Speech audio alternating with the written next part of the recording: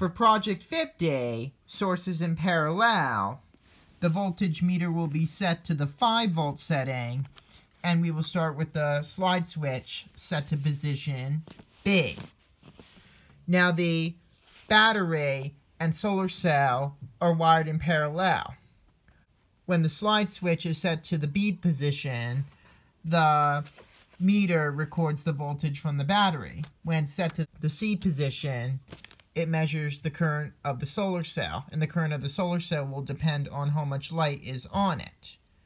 When I put my desk lamp right up to it, it measured, I would say, about 3.8 volts. Now when you push the press switch, it kind of connects the two sources together, and the meter will show the resulting voltage. For project 51, 2 in series, we're going to turn on the slide switch, move to position B, and please turn down your volume because of the horn. And both components, the LED and horn, come on. And then turning off the slide switch turns them both off. Now this is a series circuit, meaning that both components share the same path of current. If I was to remove one of these components from the circuit, like the horn, the LED in this case will stop working as well.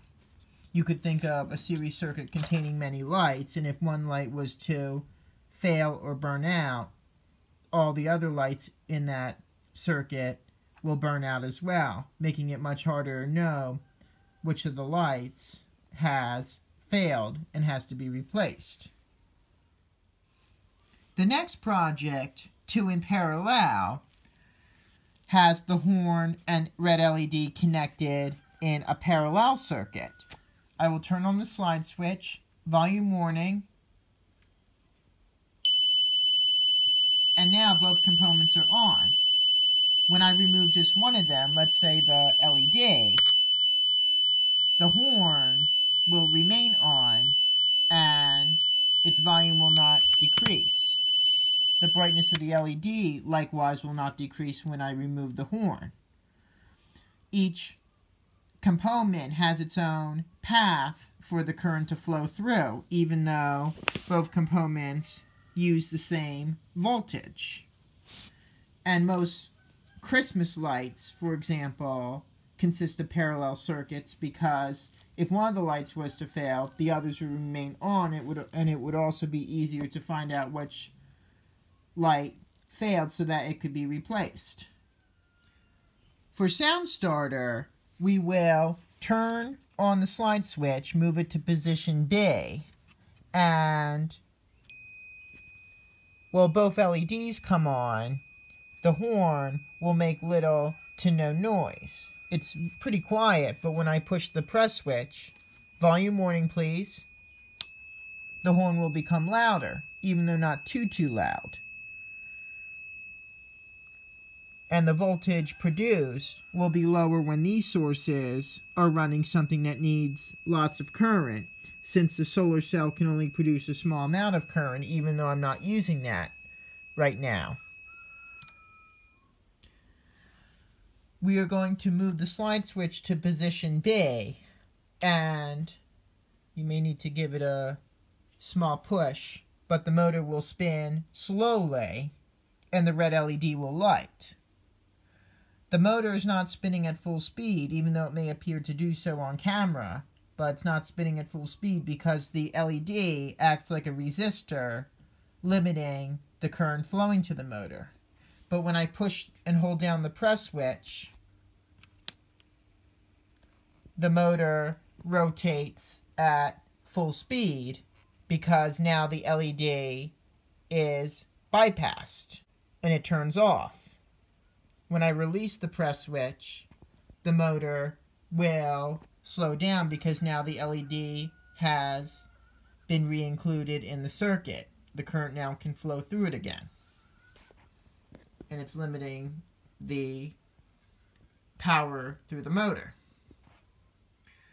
Project 55 is Big Blade Wind Horn. However, I was not able to successfully work this project, but I will tell you the principle.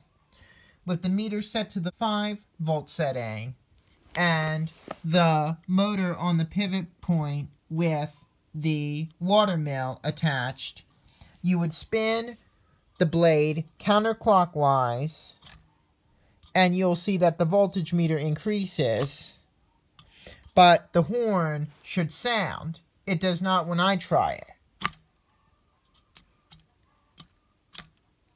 Spinning it counterclockwise produces negative voltage, which the meter cannot record.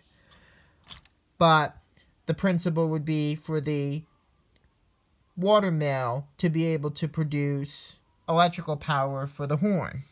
It's recommended that if you were to try this, carefully put it next to an electric fan so that it would have a steady wind. And if it's powerful enough, the horn will sound. Blocking the wind on one side of the fan with your hand may direct the airflow better and improve the performance of the makeshift fan that you made. For windy time, I cannot give you a full demonstration, but the principle of this project is to use wind power for to make the clock work. You would spin the water mill on the motor counterclockwise or have a steady, strong wind blowing on it. And if enough power is produced, the capacitor will charge and supply energy to the clock. Even if the wind is not blowing, because the clock uses little energy, the capacitor can power it for a while. The red LED will not light, and it is used to prevent electricity from discharging from the capacitor through the motor when the wind is not blowing. This is a very clean way to power the clock. But once again, I could not get to work, so I'm very sorry about that. Project 57 is Wind Charger with light. This project allows you to charge the battery powering the LED using wind power. So if you put the windmill in a wind that is strong enough, the battery will charge and the current will be measured on the meter, which is currently set to the 0.5 milliamp setting. And then you can use that power for the LED to provide light.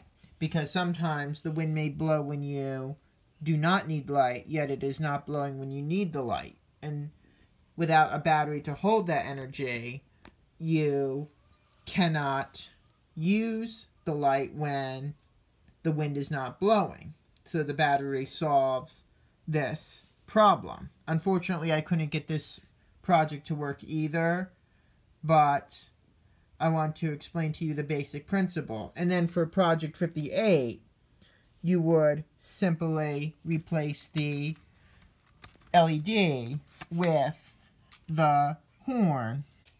And now the wind will charge the battery for the horn. I'm going to just quickly put it on. Please lower your volume. And there you have it. Here is Kickstart Motor. This project is pretty simple, yet interesting.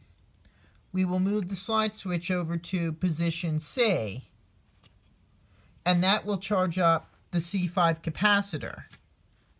Then when I move the switch back to position B, the motor will spin on its own a brief moment. Let's do this again.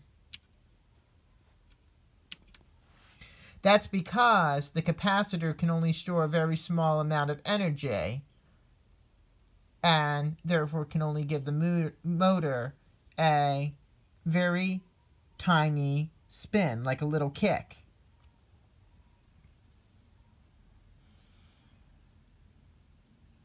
But if I had a much larger capacitor, the motor could spin longer and faster.